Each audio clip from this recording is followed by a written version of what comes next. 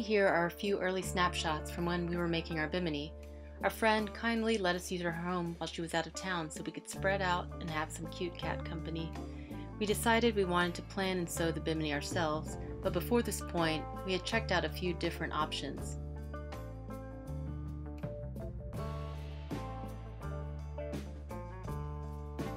After a ton of research, we decided to go with Sailrite's Bimini frame and skin kit because overall it would be more affordable for us, but also because they're a super reputable company with great support and helpful guides online.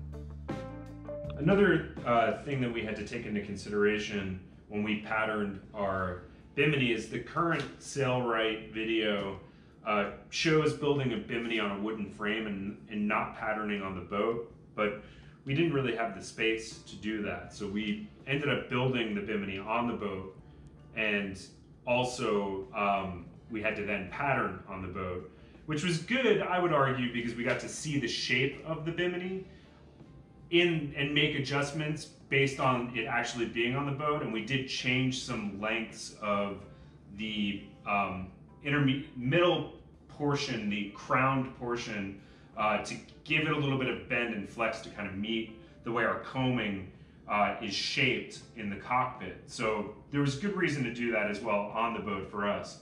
But one of the things we had to do was when we made the pattern, we had to actually split the Dura Skrim so we could pull it over our backstay.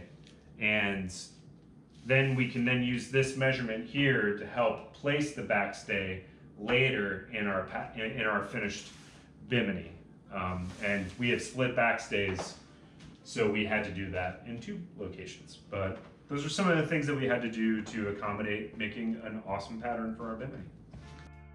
We go into way more detail about what we learned in our post, 20 plus tips for building your own boat bimini, the link is included in the video description below. It includes practical resources and troubleshooting advice that we hope will save you time and money too. In the end, we're really happy with our Bimini, and even as relatively new sewers, we feel it turned out well and loved that it was way more budget friendly than a custom Bimini. And making our own Bimini allowed us to feel more confident about taking on future DIY projects for Hope too.